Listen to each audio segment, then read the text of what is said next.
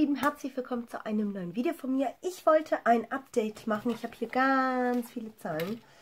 Ganz viele Zahlen und ähm, ein Produkt kann ich sogar nicht finden. Das wird das Update Nummer 2 mit der Dörte. Ich verlinke ihren Kanal, falls ich das äh, Video bekomme von ihr, den Videolink oder halt eben überhaupt ihr Video sehe, ähm, findet ihr es in den Kommentaren.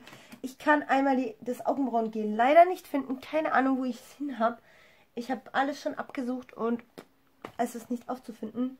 Ähm, wir leben jetzt so, wie es halt ist. Es ist halt nicht da. Dann fangen wir mal an mit dem Augenbrauenstift von Catrice. Ich werde euch am besten die Zahlen oben hinschreiben, wie viel das wiegt, also wie viel ich aufgebraucht habe. So sieht er aktuell aus. Ich kann euch den Stand mal zeigen. Viel habe ich nicht aufgebraucht. Hier sieht man einen kleinen Unterschied, sage ich mal, mini, minimal, vielleicht einen halben Zentimeter. Ich glaube, diese Kästchen sind immer ein halber Zentimeter. Leider nicht so der gewünschte Ergebnis, obwohl ich ihn echt öfters benutzt habe, auch heute natürlich. An manchen Tagen habe ich was anderes ausprobiert, aber im Großen und Ganzen benutze ich den täglich und er braucht sich einfach so wenig auf. Den habe ich jetzt schon den dritten Monat dann drinne und er braucht sich einfach unheimlich wenig auf unheimlich wenig. Ja, da habe ich ähm, 2,1 jetzt, also habe ich 0,3. Im letzten Monat hatte ich 0,4 aufgebraucht. Dann kommen wir zum Essence Primer. Das ist das gute Stück. Das gute Stück habe ich jetzt mal leer gemacht und zwar, weil ich das hier reingefüllt habe. Weil ich das jetzt einfach mit reinnehme. Also so viel war noch von dem Essence Primer drin. Ich hatte das vormarkiert gehabt, bevor ich den Essence Primer reingemacht habe. Also diese, das waren ungefähr was waren es mit Verpackung? 17,3, also hatte ich 6,1 aufgebraucht und ich denke genauso viel, also da war noch so viel voll. Ich habe einen äh, größeren Schritt hier, da habe ich 1 Gramm mehr.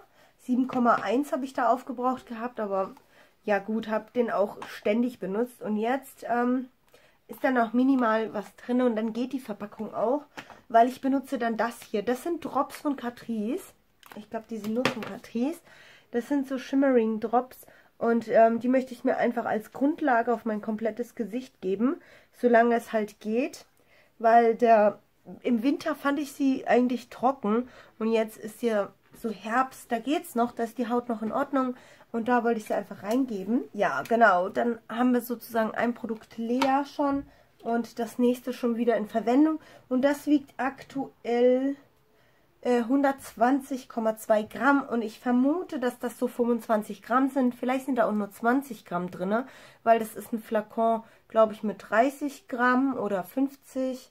Ich weiß ja schon gar nicht mehr, wie viel da drin waren, aber wir lassen uns mal überraschen, was da geht. Dann hatte ich äh, Catrice Blush drin. Da habe ich diesen Monat auch nicht so viel wie im letzten Monat erzielt, nämlich nur 0,4 Gramm. Und ja, ein Hittepen ist noch weit nicht zu sehen. richtig schön. So sieht er aus. Echt tolle Frühlingsfarbe. Hat mir echt gut gefallen. Aber auch jetzt im Herbst, denke ich, werde ich ihn gerne tragen.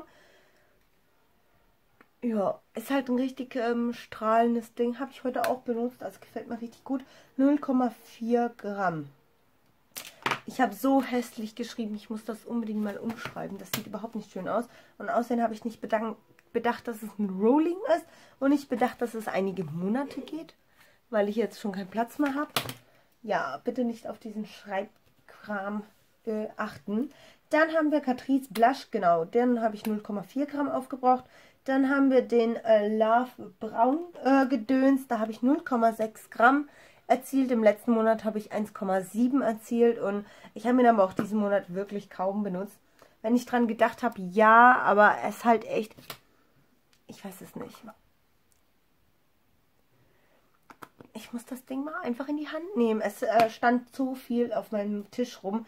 Deswegen habe ich das übersehen. Aber ich denke, diesen Monat werde ich das leer machen, damit dieses Döschen einfach aus dem Projekt verschwinden kann. Dann haben wir den Bäcker Bronzer. Da habe ich tatsächlich was erzielt. Und zwar 0,6 Gramm. Das sind...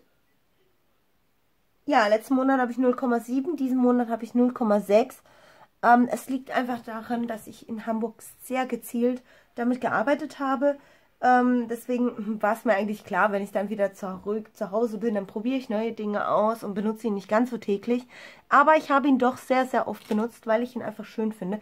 Ich finde ihn auch schön in der Lidfalte. Wie gesagt, ich habe einen Heat the Pan und das Aufbrauchen ist auch nicht ähm, so weit hergeholt, weil es ein kleines Produkt ist. Allgemein schon nicht so viel Gramm drin. 2,3 und es wird zu schaffen sein. Und dann bin ich auch ganz froh, dass ich das Geld wenigstens rausholen konnte und überlege dann, wenn ich zwei weitere Bronze aussortiere oder aufbrauche, ob ich den mir dann nochmal zulege oder vielleicht in meiner Sammlung was genauso Schöneres finde. Genau, dann hätten wir das schon mal. Dann mh, mm, Becker Bronze. Okay, dann haben wir hier Models Co. Hm. Ja, sehr enttäuschend. Ich habe ihn gar nicht benutzt, also fast nicht ich glaube, zweimal oder sowas in Verwendung. Und das sieht man dann auch auf der Grammzahl. 0,1 Gramm. Und letzten Monat hatte ich 0,5 Gramm. Man braucht nicht so viel. Also einmal so rein reicht schon oftmals. Und dann einfach in tupfenden Bewegungen das einarbeiten. Ich reibe das jetzt, weil ich ja keine Foundation drunter habe. Und dann sieht das richtig schön genährt aus.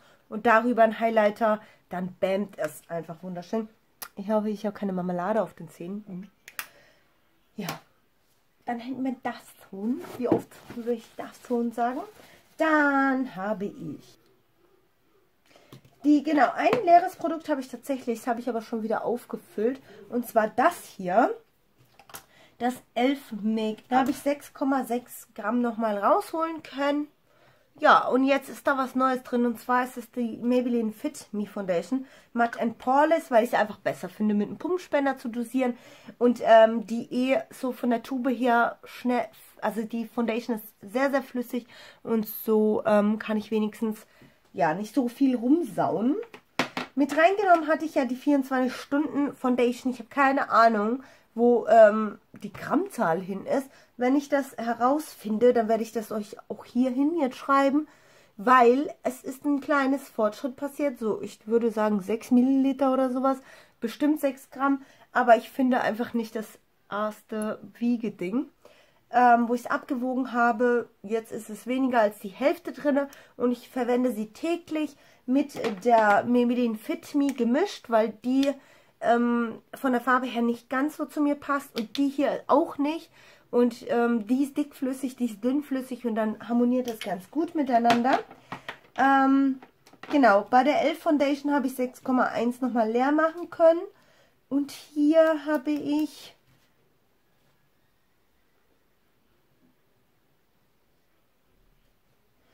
Ähm, beim Love Puder habe ich äh, beim Laufpuder habe ich 2,6 Gramm leer gemacht. Wie das möglich ist, kann man ja. ganz gut sehen. Da habe ich wirklich einen ordentlichen Fortschritt erzielt.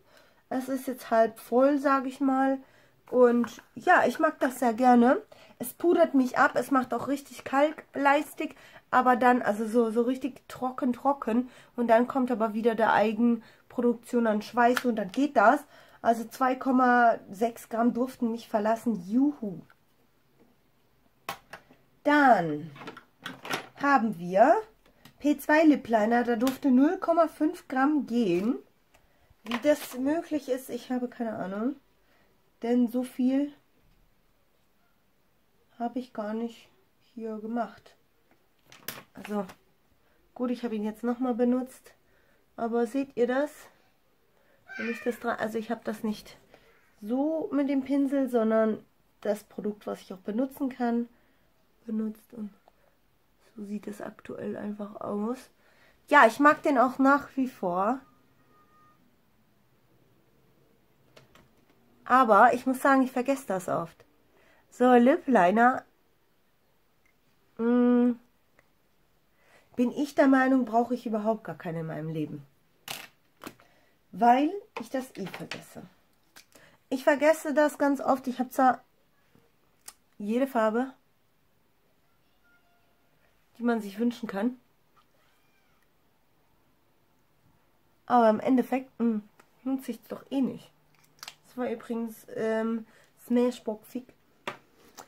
Dann, ja, das ähm, Überrascht mich, dass es 0,5 Gramm sind und ähm, ja, was will man sagen?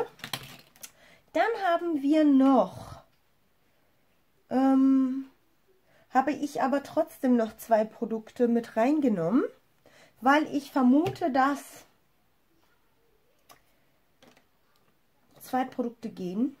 Also zum einen finde ich den Augenbrauenstift nicht und dafür habe ich, also das Augenbrauengel nicht, dafür habe ich das hier mit reingenommen. Das werde ich jetzt hier hin schmieren, um zu highlighten. Im Dreieck oder auch für meine Augen zu benutzen. Das wiegt aktuell was ist denn da drin? Da sind 4 Milliliter drin und das hatte ich ja schon, 12,6 Gramm wiegt das aktuell. Und dann habe ich noch ähm, ein Produkt mit reingenommen, falls, also das werde ich jetzt auch schon benutzen, weil es ja kein Ersatzprodukt ist. Aber ich vermute, dass das bald leer geht.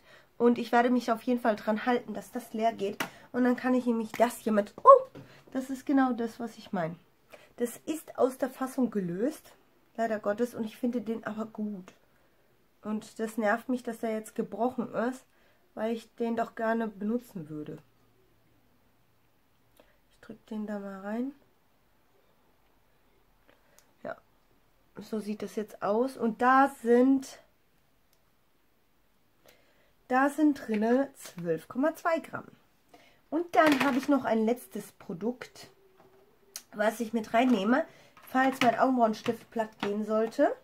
Und zwar nehme ich den von BH Cosmetics mit, mit rein, weil ich vermute, dass der den Monat echt leer geht. Also ich mache zwar kleinere Fortschritte, aber ich glaube, der Stift ist nicht ganz voll.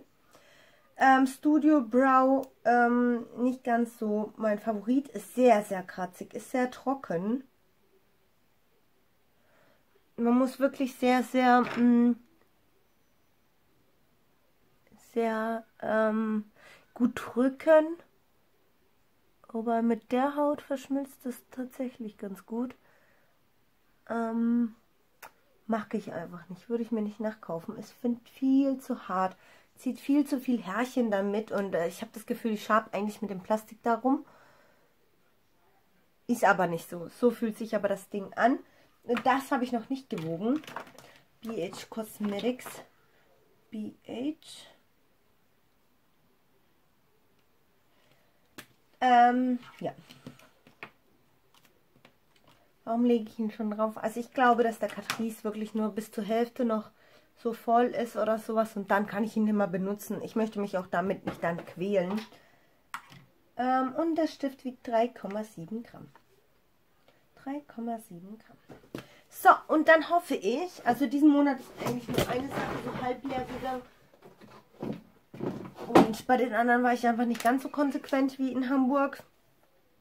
Weil in Hamburg habe ich wahrscheinlich den meisten, äh, das meiste Ziel dann erreicht. Und ja, wir werden schauen. Also ich werde das äh, euch im nächsten Monat nochmal zeigen, dass das leer gegangen ist. Weil ich denke, wenn ich das täglich benutze, wandert das ja unter diesen Strich.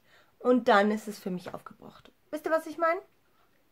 Ich hoffe, ihr seht das, weil das habe ich jetzt gemischt, weil das dann etwas flüssiger ist. Also nicht ganz so... Mh, hm, ja, weiß ich nicht, ganz so Schimmer, Schimmer, sondern, ja, schon Schimmer, Schimmer. Naja, ein Pumphub reicht auf jeden Fall für eine Anwendung. Ich denke, für eine Anwendung wird es auf jeden Fall reichen. Ja, ich bin nicht ganz so zufrieden. Ich hätte mir, ach so, ich habe noch ähm, das Fixierzeug. Ich habe auch da keine Ahnung, warum ich mir das da nicht notiert habe. Ich weiß nicht, was ich gemacht habe. Aber ihr könnt ganz gut sehen, ich bin wieder schon unter diesen...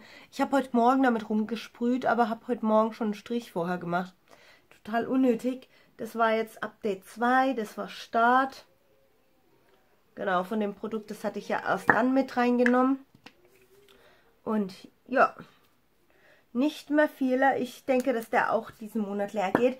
Und dann sind wir wieder bei elf Produkten einfach und fertig. Aber wenn ich merke, aha, okay, benutze das, weil ich mache einfach kleine Fortschritte mit dem hier, ja.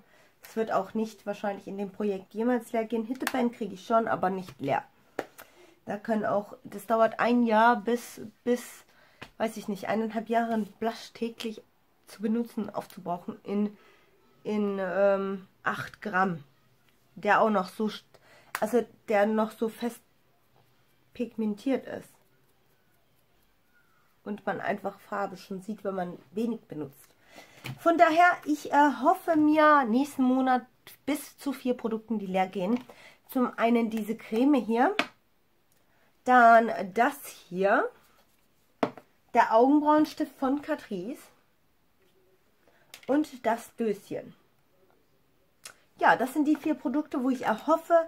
Und ich zähle jetzt mal meine Produkte. Ähm, 1, 2, 3, 4, 5, 6, 7, 8, 9, 10, 11, 12, 13, 14. Ich bin aktuell bei 14 Produkten, wenn nichts leer geht. Also ich benutze die Sachen ja dann erst, wenn ähm, die anderen leer sind. Aber weil ich weiß, dass das Update dann, dann ist doof, ne? Wenn ich das schon benutzt habe. Also ich sage es euch jetzt schon mal, was ich dafür mit reinnehme. Und wenn es soweit ist, seht ihr dann ja das Update. Gut, dann würde ich sagen, tschüss und wir sehen uns am nächsten Video. Ciao!